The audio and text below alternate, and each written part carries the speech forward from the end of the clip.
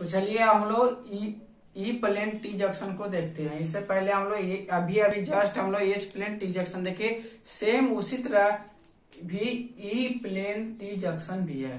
तो चलिए इसको तो उतना हम एच प्लेन टी जंक्शन बहुत डीपली में चले गए थे और इसको हम उतना डीपली में नहीं जाएँगे। यहाँ से आप लोग खुद उतना समझ सकते हैं कि बताएँगे। इसको चलिए हम लोग बात करते हैं कि ई प्लेन टी जंक्शन होता क्या है। तो बाकी आपका नोट्स में गिवेन है। नोट्स में आप नोट्स से, से आप लोग मेंशन कर लीजिएगा। इसका जो टू द पॉइंट है, उस पॉइंट के बारे में हम लोग क्या करते हैं? चलते हैं।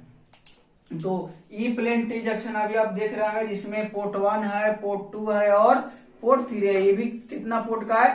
थ्री पोर्ट का है। तो ये जो स्केटिक मैट्रिक्स क्या कहता है कि इसका जो प्रॉपर्टी है स्क्वायर मैट्रिक्स जब पोर्ट थ्री है तो कितना बार कितना का मैट्रिक्स बनेगा? तो थ्री बाय थ्री का मैट्रिक्स स्केटिक मैट्रिक्स इसका बनेगा। ठीक है?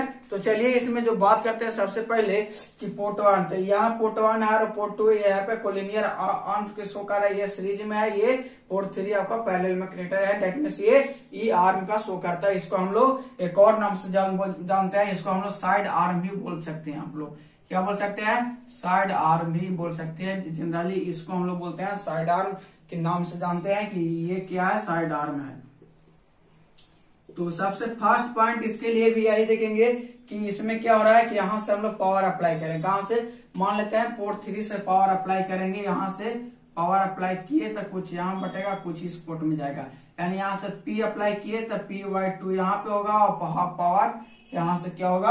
अप्लाई होगा। ठीक है? तो कुछ ऐसा ही पावर यहाँ से अप्लाई होगा तो यहाँ पे हम बोलते हैं according to Poynting theorem Poynting theorem क्या करता है? कि P बराबर होता है ई क्रॉस एच होता है। तो ई क्रॉस एच होता है। तो जैसे ही यहाँ पे आप देखेंगे कि आप मैग्नेटिक फ़ील्ड डिवाइड होगा कि इलेक्ट्रिक फ़ील्ड अभी हम लोग देखते हैं। तो फ़र्स्ट पॉइंट हम लोग क्या लिखते हैं? कि इसमें जो इक्वल पावर क्या हुआ डिवाइडेड हुआ, इसी कारण इसको बोलेंगे थ्री डीबी स्प्लिटर तो थ्री डीवी स्प्लिटर कौन था? तो ये प्लेन टीवी जंक्शन में क्या था? थ्री डीवी स्प्लिटर था। सेकेंड पॉइंट जब हाफ़ पावर हुआ तो यहाँ पे जो पावर डिवाइड होगा, वो यहाँ पे एवरी मैग्नेटिक फ़ील्ड क्या होगा? एज इट इज़ रहेगा। यहाँ पे आएगा E by two into H यहाँ भी क्या होगा?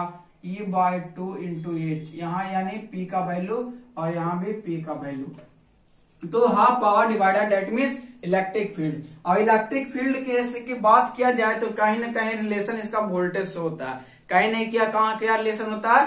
वोल्टेज से इसका क्या है रिलेशन है? तो जब वोल्टेज से इसका रिलेशन है तो इसको बोल सकते हैं आपको वोल्टेज टी है। तो इसको बोल सकते हैं और नाम क्या है? तो ये वोल्टेज टी है।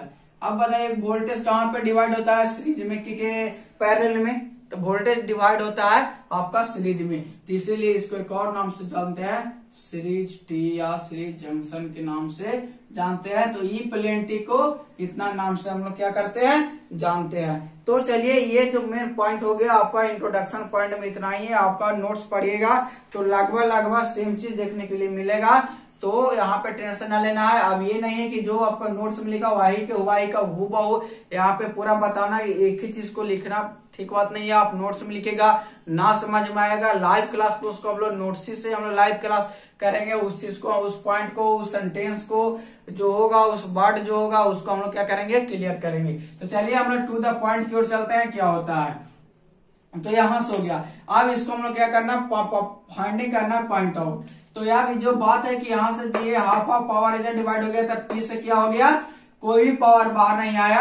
डेट मीन हम लोग बोल सकते हैं कि port three is perfectly match क्या बोल सकते हैं? परफेक्टली मैच परफेक्टली मैच क्यों मैच है? कि यहाँ से कोई भी पावर रिफ्लेक्ट बैक होकर के नहीं आया। तो चलिए स्क्वाड मतलब कि इस मैट्रिक्स से, इस पैरामीटर से इसको हम लोग कहते हैं तो देखते हैं तो हम लोग जनरली आप पोर्ट वन के लिए आप देख लीजिएगा पोर्ट टू के लिए भी आप खुद कीजिएगा कॉपी में, क्योंकि आप समझिएगा, अगर आप खुद से कर लेते हैं तो आपको समझ में चलिए, हम पोर्ट थ्री को आपको डायरेक्ट हम बात बताते हैं। तो चलिए, यहाँ पे पोर्ट थ्री के लिए हम लोग एक डायग्राम यहाँ पे लेते हैं। ये मेरा क्या पोर्ट थ्री के लिए है। यहाँ पे पोर्ट थ्री मान लीजिए, यहाँ पे पोर्ट टू मान लीजिए, यहाँ पे पोर्ट वन मान लीजिए कोई दिक्कत नहीं है आप कुछ भी मान सकते हैं। तो यहाँ पे पोर्ट थ्री से क्या आ रहा है कि यहाँ से कुछ पावर हम लोग क्या कर रहे हैं अप्लाई कर डेट मीन यहाँ से ये पावर को क्या कर रहा है अप्लाई कर रहा है। तो ये पावर को अप्लाई कर रहा है तो देख रहे हैं S three one S three one में क्या हो रहा था? यहाँ पे बार बार बोल रहे हैं कि ये जो शो करता है कि ये, कि, ये जो शो करता है कि किसको शो करता है? तो यहाँ पे आपको बार बार इस पॉइंट को बता रहा है कि एस थ्री वन हो चाहे एस वन वन हो या एस वन टू हो या एस वन थ्री हो ये सब क्या कर रहा है कि ये साइड जो है कि ये शो करता है आपका ये, ये और ये दो पॉइंट है तो ये जो पॉइंट है आपको शो करता है इनपुट का ये इधर का पॉइंट आपका इनपुट शो करता है ये पॉइंट आपका आउटपुट शो करता है। तो हम बात कर रहे हैं कहा? पोर्ट थ्री का। तो यहाँ इनपुट किसे दे रहा है? पोर्ट वन से दे रहा है। तो ये बात तो हम यहाँ पे नहीं अप्लाई करेंगे। हम इनपुट कहा दे रहा है? पोर्ट थ्री से दे रहा है। तो यहाँ पे हो जाएगा क्या? वन और थ्री अब हो गया। पोर्ट थ्री से इनपुट दे रहा है। पोर्ट वन से क्या मिल रहा है हमको? आउटपुट मिल रहा है। तो देख रहा है कि पोर्ट वन थ्री कहाँ पे है? तो यहाँ पे एस वन थ्री यहाँ पे है। इसका वैल्यू क्या है? वन बाई रूट टू के बराबर है। तो यहाँ पोर्ट वन पोर्ट वन पे क्या आउटपुट मिल रहा है? पोर्ट वन पे यहाँ आउटपुट क्या मिल रहा है? तो ए बाई रूट टू मिल रहा है। कितना मिल रहा है? ए बाई रूट टू मिल रहा है। चलिए हम लोग इसी तरह से देखते हैं एस टू थ्री का। तो एस टू थ्री कहाँ पे है? तो एस टू थ्री यहाँ पे है ये यहाँ पे है। यहाँ क्या वैल्यू मिल रहा है? चलिए इसका नेगेटिव साइन मिल रहा है। क्या मिल रहा है? नेगेटिव साइन मिल रहा है और ये मिल रहा है minus A by root two minus कितना? Minus A by root two अब minus A by root two इसका वैल्यू मिल रहा है। तो चलिए अब हम लोग देखते हैं ए थ्री थ्री ये थ्री थ्री क्या है? ये थ्री थ्री यहाँ पे, ये है, इसका तो ये क्या हो गया? मेरा ज़ीरो हो गया। दैट मीन यहाँ से पावर क्या हो जाएगा? ज़ीरो। चलिए हम इसको पावर निकाल के देखते हैं। तो पावर की जैसे ही बात करेगा कि पावर बराबर क्या होगा तो आपको सीधा स्क्वायर कर देना। पी के बराबर क्या हो जाएगा? ए स्क्वायर बराबर क्या हो जाएगा? पी हो जाएगा। तो अगर P one one P one three का, किस पे चल रहा है? पी पी वन थ्री का स्क्वायर करें कि कितना होगा? तो A square by root two का स्क्वायर कितना हो जाएगा? टू यानी that means P by two हो जाएगा। पी टू थ्री का क्या होगा? ए भी हो जाएगा। ए स्क्वायर बाय टू का माइनस में स्क्वायर करेंगे तो क्या हो जाएगा? प्लस हो जाएगा।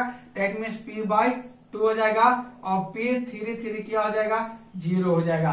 टेट में ज़ीरो हो गया तो इसीलिए बोल रहे ना कि पी थ्री से, यानी पोर्ट थ्री से जो इनपुट अप्लाई कर रहा है, इससे कोई रिफ्लेक्ट बैक ही नहीं हो रहा है। तो यानी डेट मीन कहने का port three is perfectly match बा, लेकिन यहाँ पे एक बात आया। ये पोर्ट वन और पोर्ट टू क्या नेगेटिव साइन है? नेगेटिव साइन ये शो करता है कि 180 डिग्री पोर्ट वन और पोर्ट टू से आउट ऑफ़ फ़ेज़ है यानी पोर्ट वन और पोर्ट टू क्या है?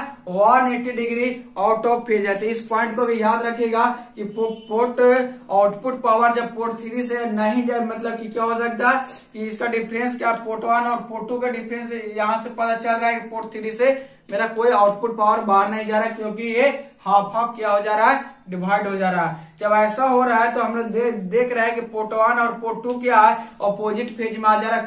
से तो 180 डिग्री से यहाँ पे आ रहा है। तीस पॉइंट को आप याद रखिएगा, बहुत याद रहेगा तो आपको हो सकता है डायरेक्ट आपको ऑब्जेक्टिव पॉइंट ऑफ़ व्यू ऐसा पूछ सकता है। तो आपको जो पढ़ना था इसमें यही पढ़ना था, इसका जो, आपको बता दे कि इसका जो ये है ए, क्या बोल सकते हैं? इक्वावेलेंट सर्किट डायग्राम है। तो सर्किट डायग्राम भी आपको नोट्स में क्या कर दिया जाएगा दिया हुआ है। तो आप जितना हम बता दिए इतना से तो आप सर्किट डायग्राम भी आप समझ सकते हैं। इतना हो गया क्योंकि यहाँ से क्या है? यहाँ से ऐसा किया गया है। और यहाँ से क्या है? तो यहाँ से एक इंडक्टेंस लगाया गया है। ऐसे यहाँ से ऐसे कर दिया गया और यहाँ से दो पोर्ट के लिए बत, बताया एक ऐसे कर कर दिया जाए। यहाँ से क्या हुआ? दो पोर्ट के लिए। तो इसको पोर्ट थ्री बोला गया इसको वन बोला गया इसको तो यहाँ से क्या गया? इनपुट दे रहा है, इधर से और इधर से क्या मिल रहा है हमको? आउटपुट मिल रहा है। तो ये आपका इसका इक्वालेंट सर्किट डायग्राम ही चाहे तो आप लोग बना सकते हैं। तो आपका जो पढ़ना था, यहाँ पे ई एस प्लेन टी में इतना ही पढ़ना था। और चलिए हम लोग इसके बाद बात करते हैं मैजिक टी और मैजिक टी जो है ई प्लेन टी और एच प्लेन टी दोनों का कंबाइंड रूप है। देखते हैं मैं मैजिक टी में क्या होता है तो इस वीडियो के लिए इतना ही।